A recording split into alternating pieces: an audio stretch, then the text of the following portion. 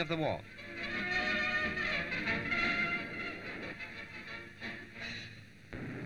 Whatever she may do in the Atlantic, in Southampton water, the Queen Mary feels her way around with slow and cautious grace. But not so these impudent little craft.